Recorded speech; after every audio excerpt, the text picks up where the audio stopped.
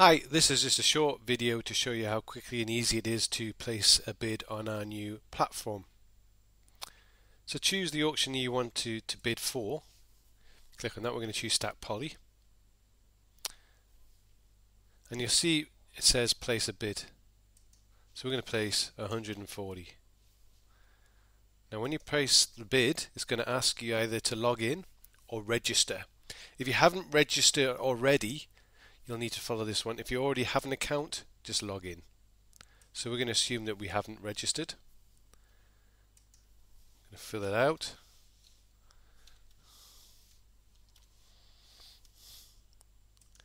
And then just put a, an email address in and click the register button.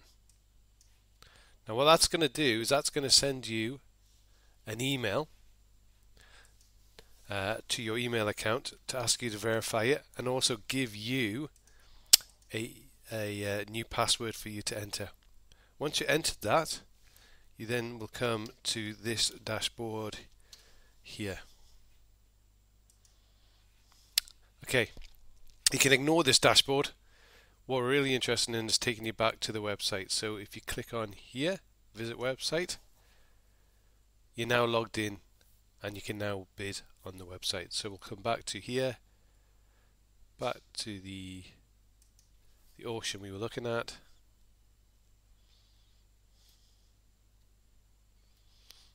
And now we can place the bid. And it says, there you go, your bid has been placed successful. Now, to see what bids you've put in, all you need to do is go down to your dashboard. several links to it.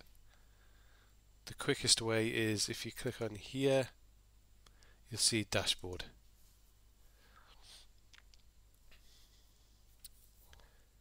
And in the dashboard you can see all the different bids that you've added, your watch list, etc. Pretty straightforward.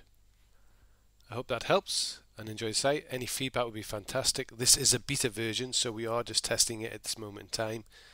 Uh, but any feedback would be fantastic. Thank you.